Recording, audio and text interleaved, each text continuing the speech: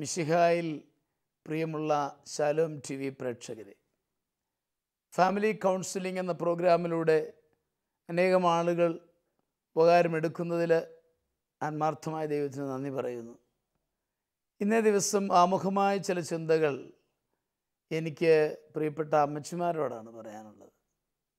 പ്രധാനമായിട്ടും ഭാര്യമാർ നല്ല സമയവും നേരവും നോക്കി ഭർത്താക്കന്മാരോട് നമ്മുടെ ആവശ്യങ്ങൾ പറയണം എന്നെനിക്ക് പറയാനുണ്ട്. കാരണം മറ്റൊന്നുമല്ല കേട്ടോ. ഒരു പുരുഷൻ ഒരു സമയത്ത് ഒരു കാര്യമേ ചെയ്യുകയുള്ളൂ. അതൊരു സൈക്കോളജിക്കൽ പ്രോബ്ലമാണ് സ്ത്രീ നമുക്കറിയാം ഒരേ സമയത്ത് പത്ത് കാര്യങ്ങൾ ചെയ്യും. അവളെ നിർബന്ധിതയാവുന്നു എന്നതാണ് യാഥാർത്ഥ്യം. അതെനിക്കറിയാം.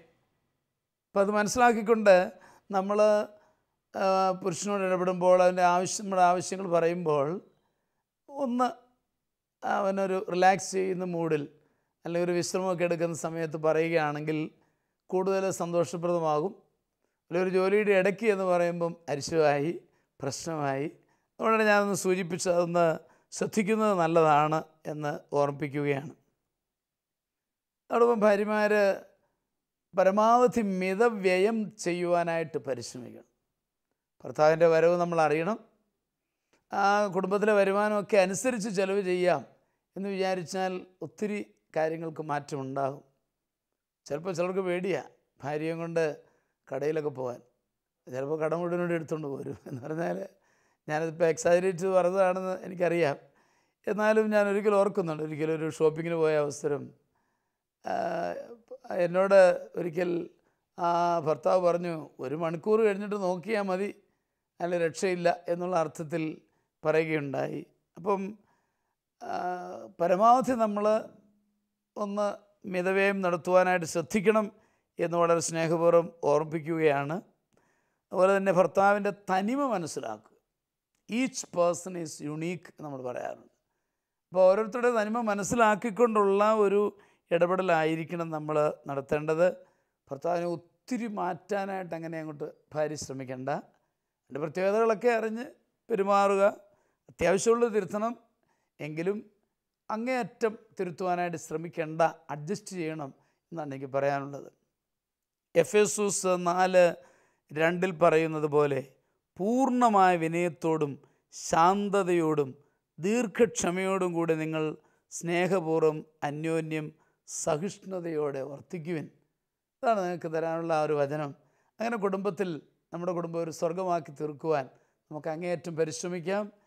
എന്ന് സ്നേഹപൂർവം ഓർമ്മിപ്പിച്ചുകൊണ്ട് ഇന്നത്തെ കത്തുകളിലേക്ക് നമ്മൾ കിടക്കുകയാണ്. ഇന്നത്തെ ആദ്യത്തെ കത്ത് ആരുടെയാണ് നിമ്മി? ഇന്നത്തെ ആദ്യത്തെ കത്ത് ആലപ്പുഴയിൽ നിന്നും സോഫിയ അയച്ചതാണ്. ബഹുമാനപ്പെട്ട അച്ഛ ഞങ്ങളുടെ വിവാഹം കഴിഞ്ഞിട്ട് ഏഴു മാസമായി. എന്റെ ഭർത്താവ് ജാക്സൺ നല്ല മനുഷ്യനാണ്.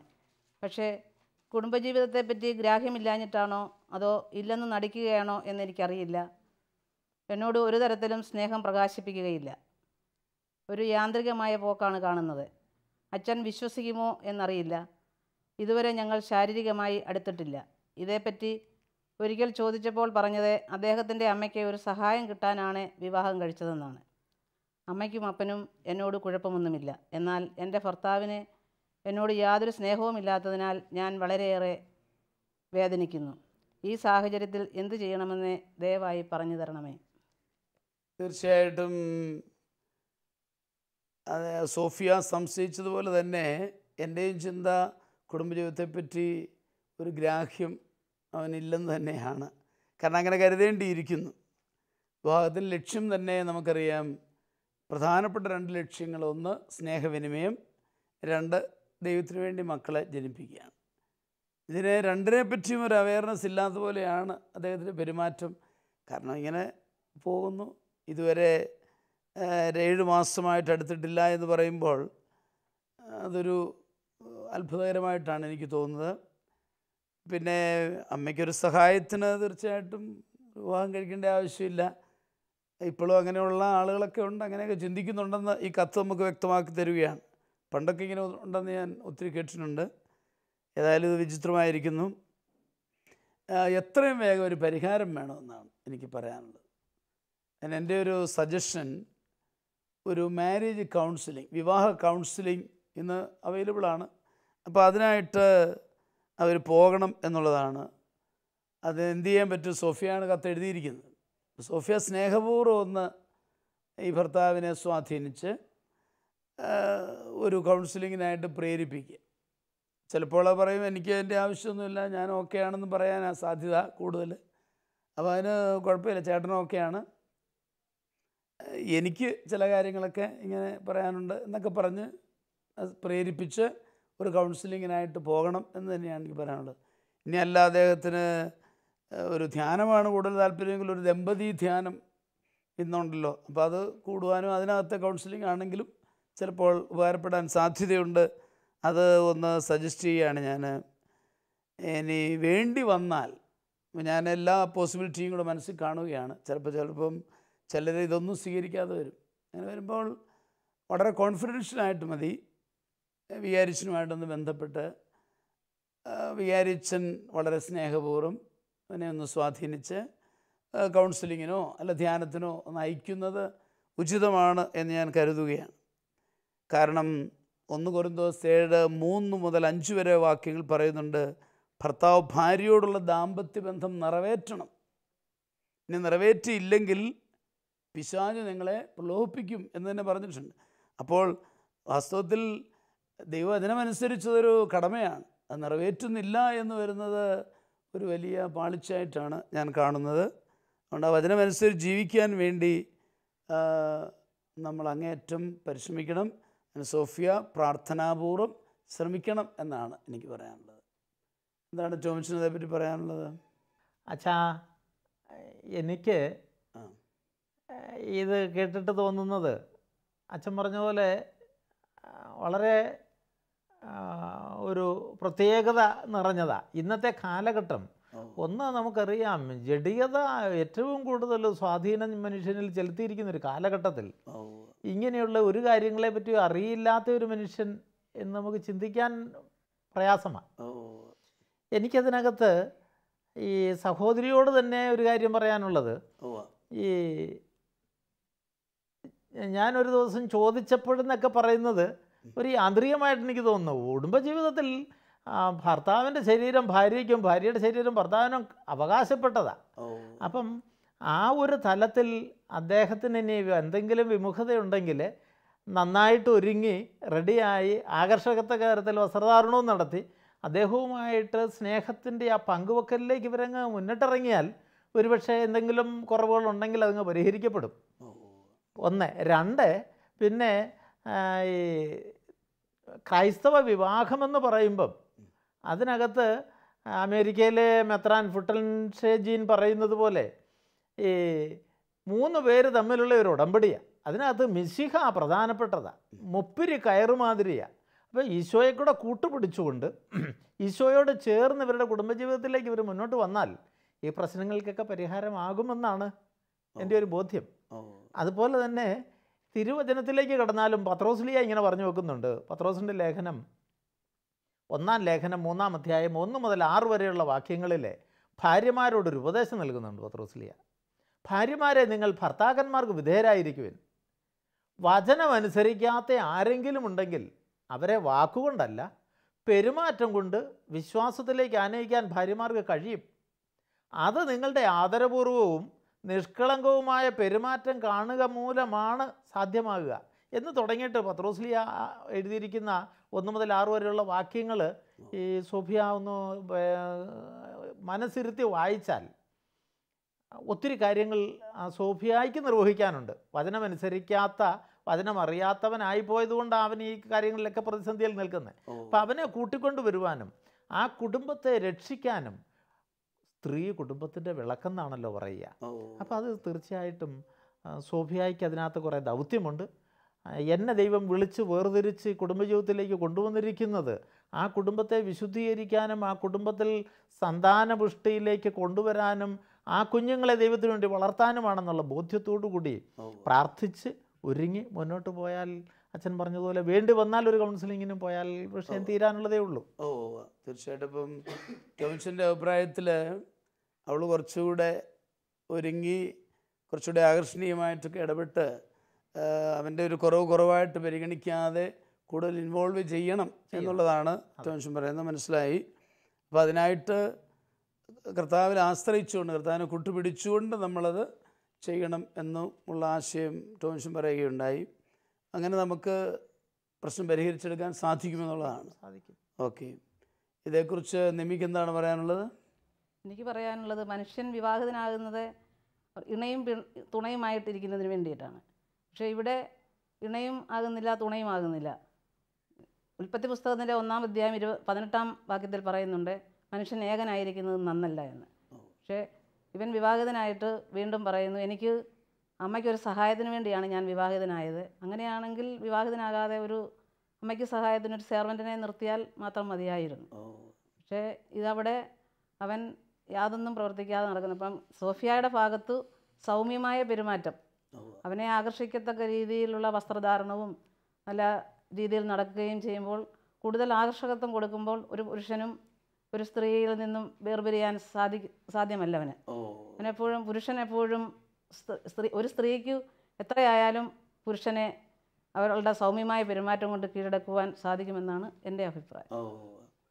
അപ്പോൾ അതിന്റെ വെളിച്ചത്തിൽ നമുക്ക് കൺക്ലൂഡ് ചെയ്യാൻ പറ്റുന്നത് യഥാർത്ഥത്തിൽ ജീവിതത്തിലെ പെരുമാറ്റം നന്മ സോഫിയ കുറച്ചുകൂടെ പ്രകാശിപ്പിക്കണം. തീർച്ചയായിട്ടും സോഫിയയ്ക്ക് നന്മ കാണും. നന്മയുള്ളതുകൊണ്ടാണ് സോഫിയ ഇത് എഴുതിയതെന്ന് ഞാൻ വിചാരിക്കുകയാണ്. സോഫിയ കുറച്ചുകൂടെ ആ നന്മ പ്രകാശിപ്പിക്കുകയും അതുപോലെ തന്നെ ഭർത്താവിനോടുള്ള ഇടപെടലിൽ ഒരു ഇനീഷ്യേറ്റീവ് ചിലപ്പം സ്ത്രീ എടുക്കുന്ന ഇനീഷ്യേറ്റീവ് കുറവായിരിക്കും. കുറച്ചുകൂടെ ഇനീഷ്യേറ്റീവ് എടുത്ത് അവനെ നേടിയെടുക്കണം എന്നുള്ളതാണ് കൊണ്ടുവരുന്ന ചിന്ത അങ്ങനെ നേടിയെടുക്കുമ്പോൾ അതിന് സഹായകമാകാൻ ഇപ്പം സോഫിയ പറഞ്ഞാൽ ഭർത്താവ് കേൾക്കണമെന്നില്ലല്ലോ. അതിന് സഹായകമാകാൻ വേണ്ടി നമുക്കൊരു മാരേജ് കൗൺസിലിംഗ് തന്നെ പ്രപ്പോസ് ചെയ്യാം.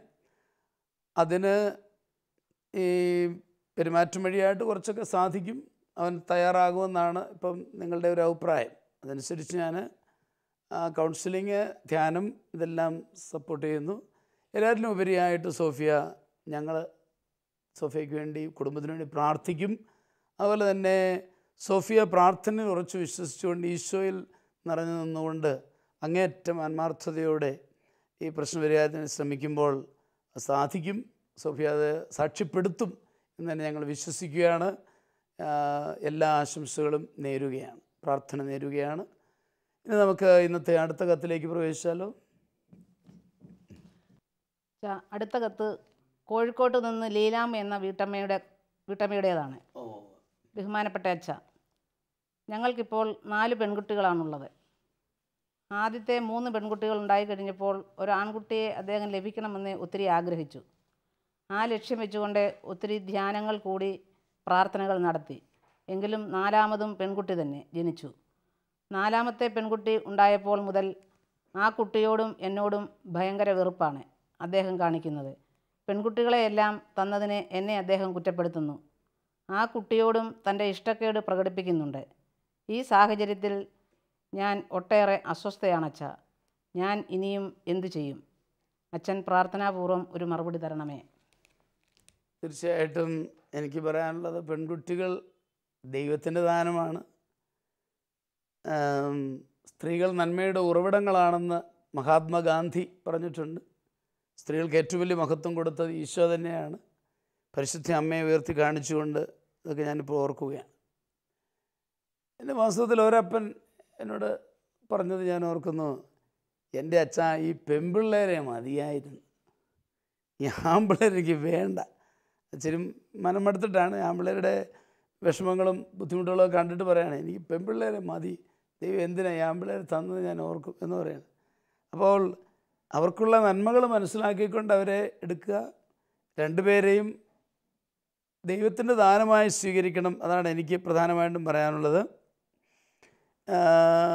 ഏതായാലും ഈ അപ്പച്ചൻ അല്ലെങ്കിൽ ഭർത്താവിന്റെ മനോഭാവങ്ങൾക്ക് മാറ്റം ഉണ്ടാകണം എന്നുള്ളത് യാതൊരു ആഹ് കാരണം പെൺകുട്ടിയെ നൽകിയതിന്റെ പ്രധാനപ്പെട്ട കാരണം പ്രൈമറി കോസ് ഞാൻ പറയും ദൈവമാണ്. ദൈവം തീരുമാനിച്ചു ഈ കുഞ്ഞിനെ ഇവർക്ക് കൊടുക്കണമെന്ന്. അതുകൊണ്ടാണല്ലോ കിട്ടുന്നത്. നമുക്ക് വാസ്തവത്തിൽ യഥാർത്ഥ മാതാപിതാക്കൾ എന്ന് പറയുന്നത് ദൈവമാണ്. മനുഷ്യർ എന്റെ ഭാഷയിൽ പറഞ്ഞ വളർത്തു മാതാപിതാക്കൾ.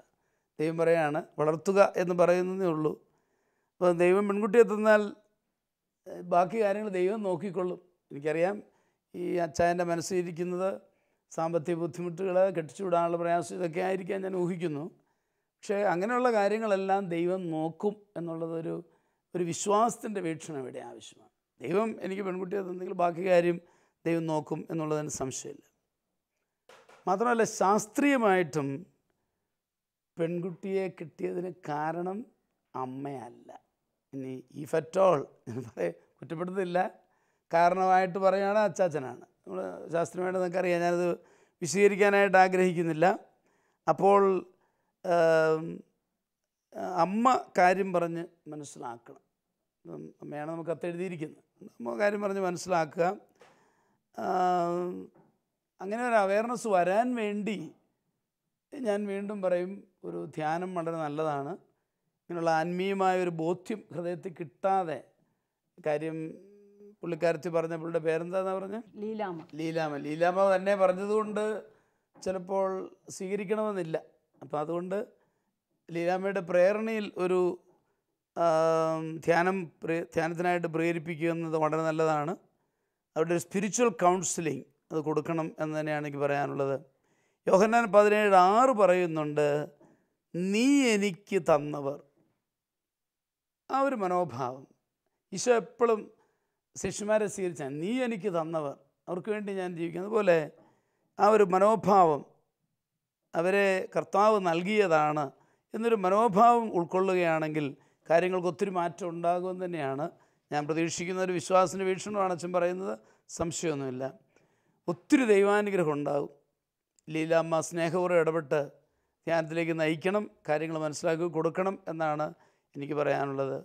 അതോടൊപ്പം തന്നെ ലീലാമ്മയോട് എനിക്ക് പറയാനുള്ളത് വിശ്വാസത്തിൽ പ്രാർത്ഥിക്കുക.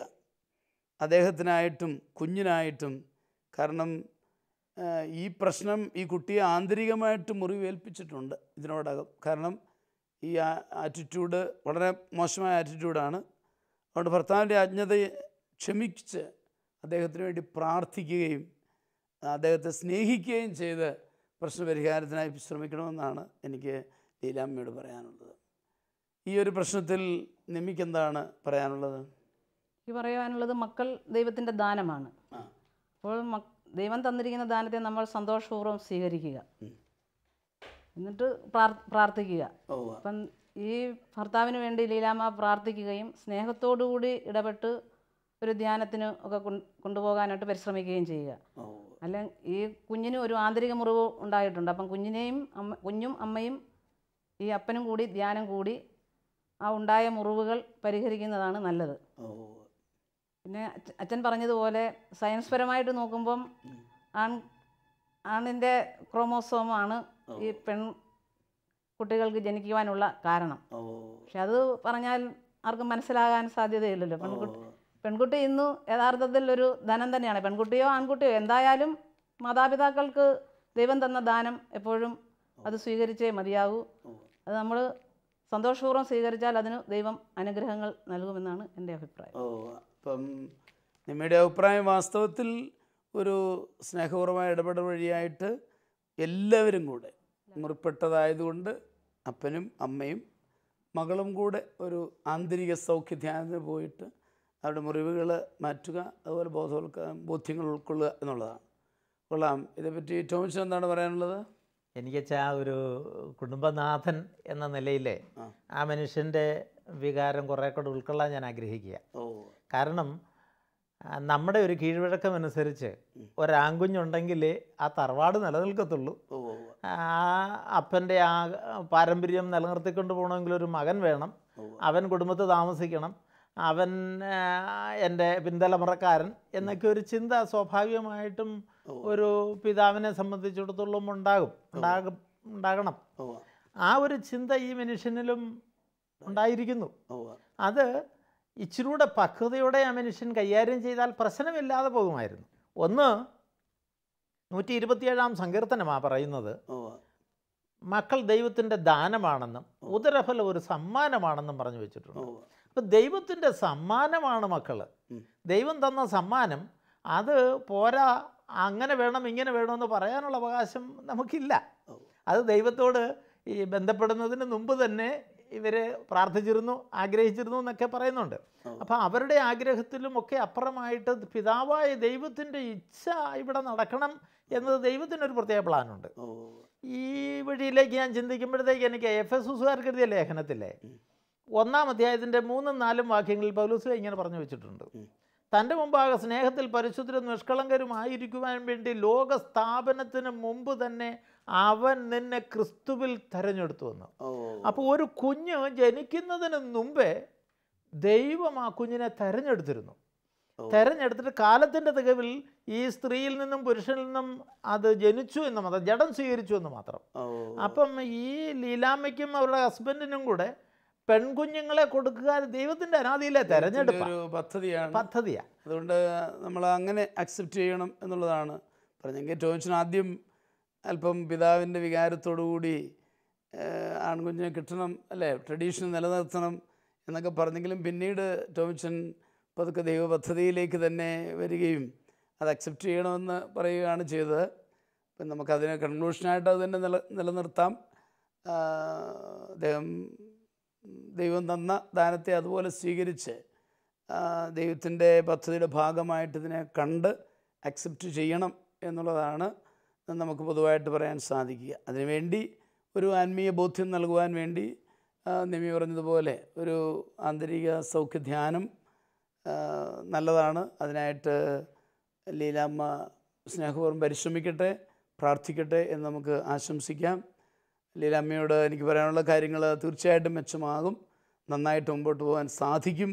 ഞങ്ങൾ തീർച്ചയായിട്ടും പ്രാർത്ഥിക്കും. അതോടൊപ്പം തന്നെ ലീലാമ്മയും സ്നേഹപൂർവം ആ കുടുംബത്തിന് വേണ്ടി പ്രാർത്ഥിക്കുന്നുണ്ട് എന്ന് ഞങ്ങൾക്കറിയാം. അത് ഏറെ നന്നായി വരും എന്നുള്ള പ്രതീക്ഷ ഞങ്ങൾക്കുണ്ട്. നമുക്ക് അവർക്ക് വേണ്ടി പ്രാർത്ഥിക്കാം.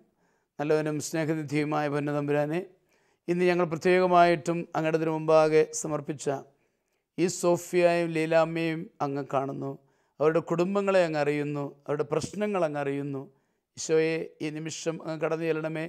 അങ്ങയുടെ മൂല്യമായ തിരുരക്തം ആ കുടുംബത്തിൽ തളിച്ച് ആ കുടുംബാംഗങ്ങളെ പൗത്രീകരിക്കണം വിശുദ്ധീകരിക്കണമേ. അങ്ങയുടെ തിരുഹിതം നിറവേറ്റുവാൻ അവർക്ക് ശക്തി കൊടുക്കണമേ. അങ്ങനെ അങ്ങ് ആഗ്രഹിക്കുന്ന നല്ല ഒരു കുടുംബജീവിതം നയിക്കുവാനും അവരെ നന്മയിലേക്ക് നയിക്കുവാനും കർത്താവെ അങ്ങ് അനുഗ്രഹിക്കണമേ. ഞങ്ങൾ എല്ലാവരും ഇന്ന് ഞങ്ങളെ കണ്ടുകൊണ്ടിരിക്കുന്ന എല്ലാ സഹോദരങ്ങളും ആ കുടുംബങ്ങൾക്ക് വേണ്ടി പ്രാർത്ഥിക്കുന്നു. അവരെ ഏറ്റെടുത്ത് വഴി നടത്തണമേ എന്ന് പ്രാർത്ഥിക്കുന്നു. പിതാവും പുത്രനും പരിശുദ്ധാത്മാവുമായ സർവേശ്വര എന്നേക്കും. ആമേൻ. ഈ പ്രോഗ്രാമിലേക്ക് കത്തുകളും അഭിപ്രായങ്ങളും അയക്കേണ്ട വിലാസം to the producer family counselling Shalom television Peruvannamuzhi P O Kozhikode ആറ് ഏഴ് മൂന്ന് അഞ്ച് രണ്ട് എട്ട്. Email info at Shalom television dot com